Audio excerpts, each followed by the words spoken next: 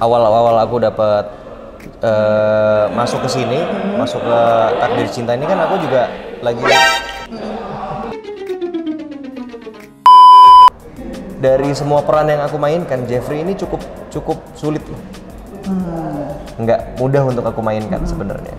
Yang Kamu pernah jangan. ngerasain titik terendah nggak dalam hidup? Aku nggak akan pernah mau pakai tangan aku untuk istri dan anak aku. Tuh. Aku berlatih keras untuk melindungi mereka bukan untuk nyakitin mereka. Wow, uh, motonya Gitu. keren banget nggak sih?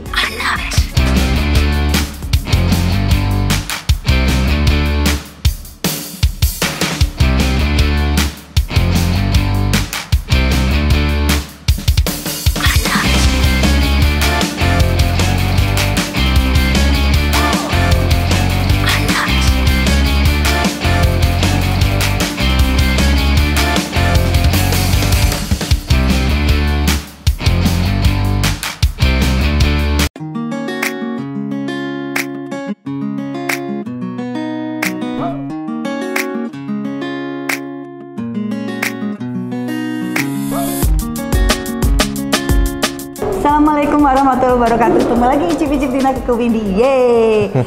Aku lagi di lokasi takdir cinta. Seperti yang kalian banyak request, tolong dong Q&A sama Jeffrey, Uncle Jeff. Nah, sekarang nih ada di sebelah Mama Astrid. Siap, siap mam. Tapi aku lagi bajunya lagi Gak apa-apa. Ini ini ini sekarang ini eh, Randy, Iya. bukan Jeffrey. Betul. Ya. Ra- lagi Randy Pangalila ya. Lagi Randy. Bukan Jeffrey Wardana. Bukan. Iya. Ren, cerita dong sedikit gimana eh, kamu eh, apa kesulitan memainkan peran Jeffrey, terus udah gitu eh, yang kamu suka apa, tantangannya apa gitu loh. Aku sih ini mam, waktu aku juga sempat bilang sama Pak Haji, Pak eh, Encep ya. Awal-awal aku dapat eh, masuk ke sini, masuk ke takdir cinta ini kan aku juga lagi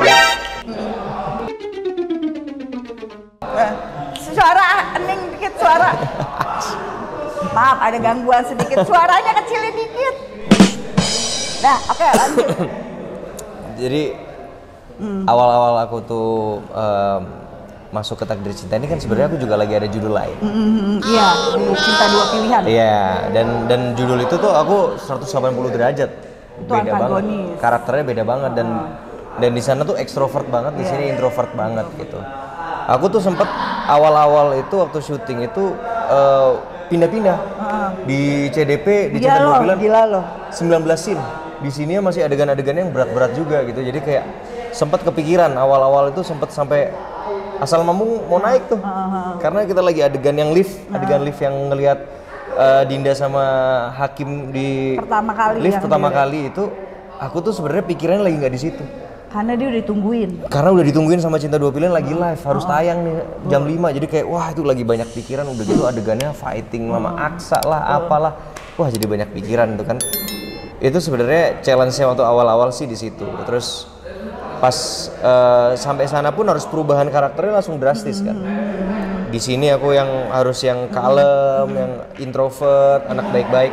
Di sana tiba-tiba yang perusak rumah tangga orang yang kayak Beda gitu. banget kan. ya. Beda banget gitu. Kesulitannya mungkin di situ. Satu. Terus eh, tapi pada saat aku menjalani sebenarnya kalau dibilang kesulitannya dari Jeffrey itu dari semua peran yang aku mainkan Jeffrey ini cukup cukup sulit loh.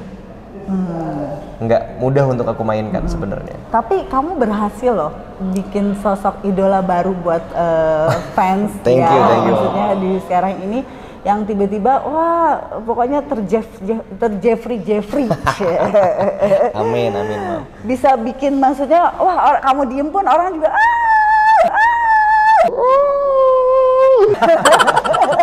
udah seperti itu. Itu sekarang gimana?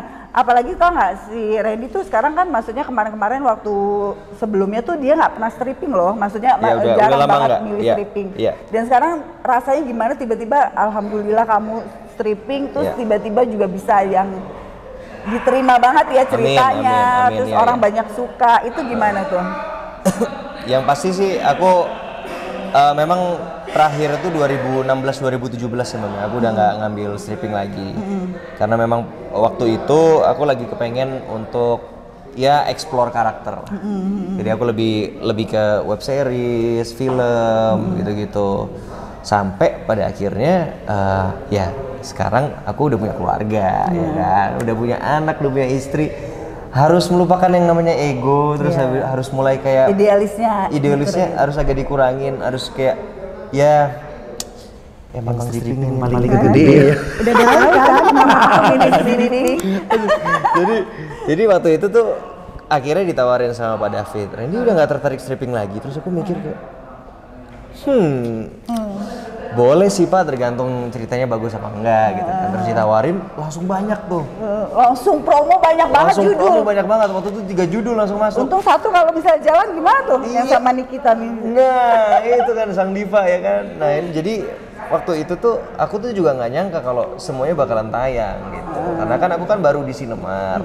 Aku pikir yang namanya promo itu belum tentu tayang juga gitu. Jadi aku kerjain aja ditawarin judul berikutnya, jalanin. Ternyata Cinta Dua Pilihan tayang, Takdir Cinta juga tayang. Aduh, terus itu gitu karakternya beda banget gitu kan. Itu sulit banget sih gitu. Tapi dia termasuk aku nih, aku menilai Randy itu termasuk artis yang punya tanggung jawab besar Waduh, thank you, Mam. dan nggak terlalu neko-neko, nggak terlalu eh, merasa star banget. Aduh, jangan jangan sampai Ya, it- jadi kadang-kadang respect kita gitu loh sebagai wa- wa- walaupun kita harus nunggu kan aku pernah ngerasain syuting nunggu dia loh. Iya, iya, iya. Terus tiba-tiba udah mau jalan nggak jadi karena dia masih di judul sebelah. Pakai patwal. Pakai patwal. Pakai patwal ada tuh. Tapi eh, karena aku ngeliat dia anaknya baik, jadi aku respect dan kita tetap nunggu dengan yang nggak nggak pernah kan aku protes. Nggak pernah, "Oh, nggak pernah. Aku Thank you, Mam. support dan itulah makanya kadang-kadang kita tuh butuh orang memang yang memang itunya hatinya baik. Ini dia baik loh. Amin, Dia, dia terima kasih. sebenarnya eh, Jeffrey itu itu Randy loh. Aduh, amin. Tapi jangan bucinnya ya. Jangan ya. bucin, Jangan bucinnya. jangan bucin. Baiknya boleh. Iya. Sama jangan yang nyelakain orang ya jangan. jangan. Yang Kamu pernah jangan. ngerasain titik terendah nggak dalam hidup? Pasti lah, Mam. Apa tuh? Pasti. Eh, aku pernah pada saat di tahun-tahun ya 2016 2017 lah itu aku ada di titik terendah di mana eh, aku tuh ngerasa kayak eh, dari yang aku dulu ya stripping banget Hmm, ya zaman dulu ya. Zaman dulu tuh kan aku stripping banget mulai dari Cinta Fitri, abis itu kan Manusia Harimau ini ini itu ini itu tuh aku tuh udah wah di atas banget waktu pada saat itu. Cuman pada saat itu memang aku menyadari kesalahannya adalah aku terlalu muda untuk sukses terlalu dini. Oh, oke Gitu. oke oke. Pada saat aku sukses terlalu dini, aku tidak tahu bagaimana cara mengelola finansial yang baik. Ah, tuh. ya kan jadi pada saat aku mendapatkan rezeki yang banyak bukannya aku kelola dengan baik tetapi Ah. apa Oke oke. oh iya. Ya. bukannya aku bukannya aku kelola dengan baik tetapi justru malah Iya, aku pakai yang yang ya buat senang-senang lah Ah. gitu nanti kita lanjut mungkin. Nanti kita lanjut. Randy tungguin, jangan ke mana-mana. Saksikan icip-icip di Naka Windy. Kemarin kan, waktu pas ngecek di YouTube sebelumnya kan kamar ini belum ada foto-foto. nah ini coba deh, ada foto bersama eh, Chelsea Prank ya. Iya, iya. Nah ini kenapa tiba-tiba, wow, udah ada, udah ada ini nih, udah ada apa namanya? Udah ada ini dari love, oh iya, note-nya. jadi ini yang Kan- taruh Chelsea Karena Chelsea lagi berangkat. Uh. ini malam ini pulang ke Kanada sampai Januari Wow, berarti dia sendiri loh. tinggal nih tiga bulan lihat deh biar nggak biar nggak kang. Iya, ya, pasti kangen. Ini Pasti kangen. tuh. Coba banget sini lihat deh ini ya. Lihat Foto- dong foto anaknya ini. Tuh, tuh. Ini ada lagi nih. Wah ampun. ini Seru amat sih. Lihat dong pesen-pesennya tuh. Sini Yan, ambil Yan. Tuh. Wah. Ini gimana nih tiap pagi baca ini gimana kalau bangun tidur? Rasanya seperti apa? Ini sebenarnya istri aku tuh nulis eh, mengingatkan aku aja sih. Ya. Aku ini eh, kadang-kadang kita kalau misalnya terlalu sibuk kita syuting terus, kadang-kadang kita lupa eh, alasan utama kita ngambil pekerjaan ini apa gitu. Terus? Iya kan, jadi kan kadang-kadang orang tuh kan kalau terlalu sibuk sampai lupa gitu. Sebenarnya kita pada awalnya itu kita kita bekerja itu untuk keluarga. Tapi pada saat udah terlalu sibuk, ada iya terbuai sama yang namanya kesuksesan, kita lupa bahwa tujuan utama kita bekerja itu untuk keluarga gitu. Tuh. Jadi di sini tuh sebenarnya vibe-nya biar mengingatkan gitu. Di sini ada tulisannya tuh. Don't forget why you're here. Eh, tapi semenjak kamu merit, ini udah udah pernah eh, jauh belum sih? Maksudnya Ya, eh, kan ini kan pergi jauh, lama gitu. Hmm. Maksudnya selama merit udah pernah? selama merit waktu aku sama istri aku eh. Heeh. Thank you. Selama merit sih waktu aku nikah pernah jauh-jauh. Oh, pernah jauh-jauhan, pernah. Jadi waktu itu aku habis nikah di sini, dia harus ngurus pernikahan kita yang di Oh, di Kanada. Kanada. Jadi dia tuh udah pulang duluan tiga bulan dan itu Oh.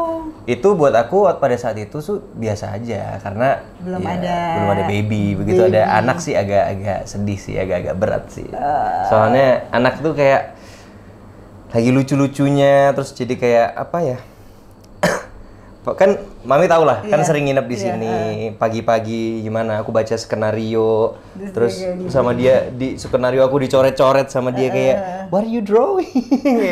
Ya kan gitu-gitunya tuh itu ya yang bakalan bakalan kangen gitu. Jadi di sini makanya istri aku kasih pengingat pengingat aja gitu. Don't forget why you're here gitu jangan lupa tujuan aku ngambil stripping itu kan sebenarnya keluarga. Untuk Blair untuk anak aku untuk masa depannya dia untuk sekolahnya dia nanti. Jadi itu. Best banget nih, bapak yang baik, suami yang baik buat istri ya. Ya kita lanjut ya ngomong-ngomong ya. Guys, lanjut lagi pindah tempat karena di sana terlalu crowded. Ya, Kan kita lagi syukuran juga, Iya, kita lagi syukuran juga 50 episode. 50 episode. Makasih. Setia ya terus nonton terus ya. Terus deh gitu Ren, apa sih keinginan dan harapan kamu yang belum tercapai? keinginan dan harapan aku yang belum tercapai ya. Sebenarnya kalau aku tuh aku tuh kalau masalah masalah eh, materi, aku aku orangnya selalu pun, penuh rasa syukur gitu. Karena menurut aku kalau kita selalu punya keinginan, kita tuh manusia nggak akan pernah cukup. Yes, betul. Kita punya kita kepengen mobil, setelah itu pasti kita akan kepengen punya rumah, setelah Iya. itu kita akan kepengen punya investasi ke mana kita. Menurut aku kalau cuman sekedar materi, aku udah lebih dari cukup. Oh, Aku bersyukur. bersyukur. Gitu. Tapi karena aku sudah diberikan sama Tuhan keluarga yang yang yang sangat-sangat aku impikan, anak yang sehat dan lucu. Istri yang baik banget. Pekerjaan yang luar biasa harus aku syukuri, ketemu dengan keluarga-keluarga baru yang baik-baik. Menurut aku tuh udah luar biasa sekali dan kalau pencapaian yang belum dan ingin aku capai itu bukan materi, tapi lebih ke arah aku, kepengen jadi bapak, yang baik, untuk anak aku. Gila, keren banget nggak tuh?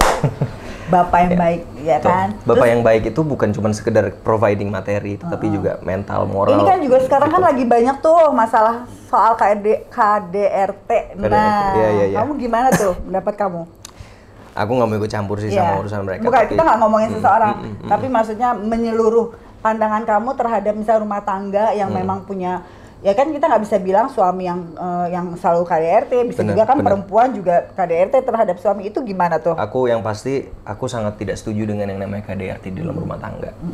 Aku sangat tidak setuju karena ah, apa pun itu menurut aku pribadi semuanya harus bisa diselesaikan dengan komunikasi.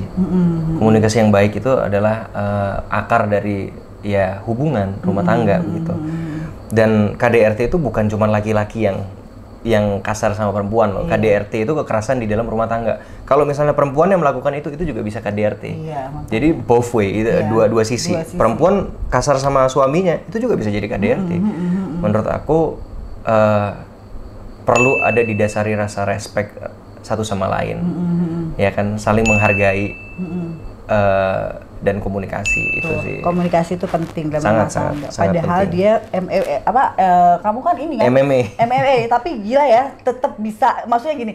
Ya kalau di di di apa namanya kalau tanding ya tanding, Tanding, gitu tanding, emosi bukan berarti ya kalau dalam kehidupan sehari-hari harus dicontohin seperti itu itu Enggak, enggak, enggak. karena Aku- itu dia Aku nggak akan pernah mau pakai tangan aku untuk istri dan anak aku. tuh. Aku berlatih keras untuk melindungi mereka bukan untuk nyakitin mereka. Wow, uh, motonya Gitu. keren banget gak sih? Terus deh gitu sekarang gimana cara kamu menghadapi haters?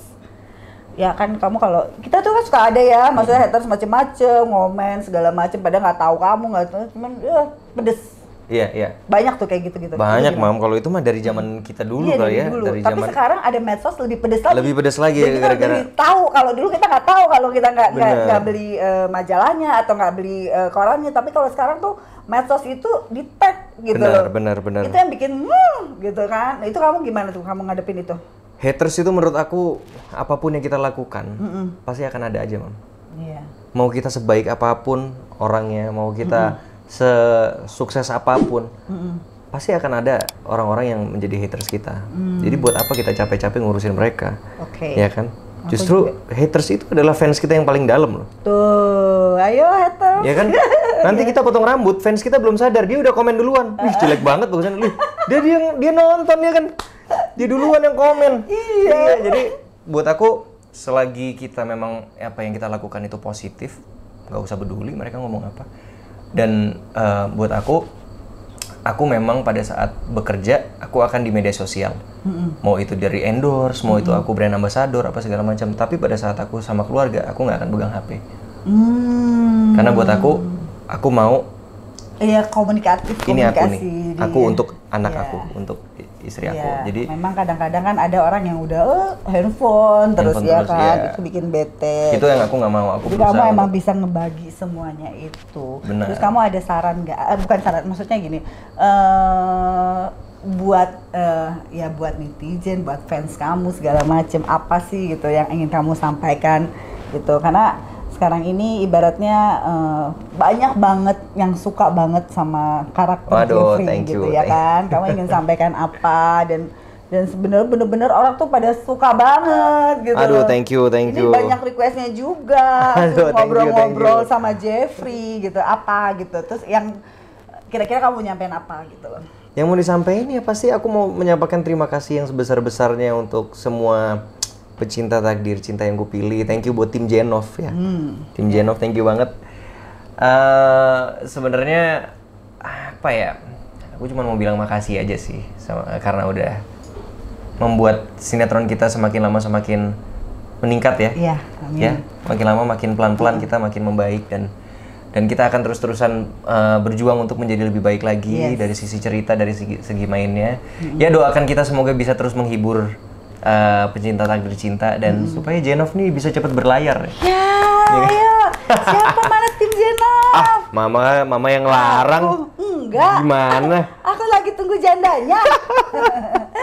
Ya pokoknya kalian harus nonton terus takdir cinta ya, kan? Terus udah gitu kita juga pasti akan terus bikin konten ya kan? Pokoknya supaya dan mudah-mudahan juga ya Uncle Jeff kepilih ya jadi SCTV Award Oh, aduh, amin, amin, ayo ayo ayo Aduh. support semuanya ya harus loh amin, mam. Thank you, thank you Randy, thank you banget. Thank you, Pokoknya thank you, Mam. aku berdoa berharap kamu selalu bahagia, Amin. ya kan. Pokoknya aku ngeliat emang kamu tuh eh, apa ya keluarga kecil yang bahagia banget. Amin. Mudah-mudahan cepet dapet ini ya Claire dapet adik lagi. Adik. Ya, ya. Masih mau cowok dong. Aku kepengen cowok Yuh, sih. pengen cowok pasti. Ya mudah-mudahan amin ya kita doakan yang Amin, terbaik amin. semuanya. Thank you. Thank you, Mam. Makasih, makasih semuanya. Jangan lupa kalian share, like, komen, icip-icip di, di Naga ke Windy dan di subscribe. Bye. Assalamualaikum. Bye bye. I love it.